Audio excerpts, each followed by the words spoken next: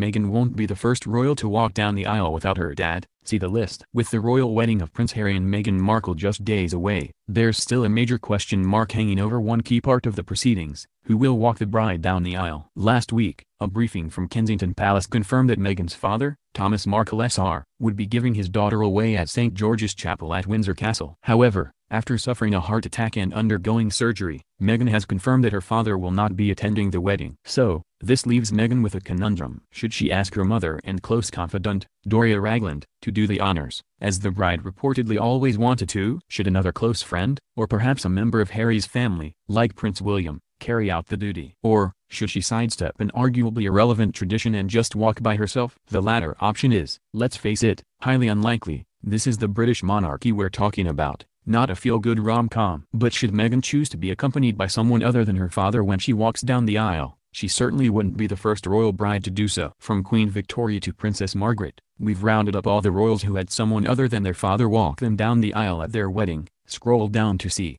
1840, Queen Victoria. Queen Victoria's father died before she turned one, so when she married Prince Albert in 1840, she asked her favorite uncle, Prince Augustus Frederick, the Duke of Sussex, to walk her down the aisle. 1866, Princess Helena. Should Meghan ask her mother Doria to give her away, it won't be the first time that this has happened at a royal wedding. Queen Victoria walked her third daughter Princess Helena down the aisle when she married Prince Christian of Schleswig-Holstein five years after the death of Prince Albert.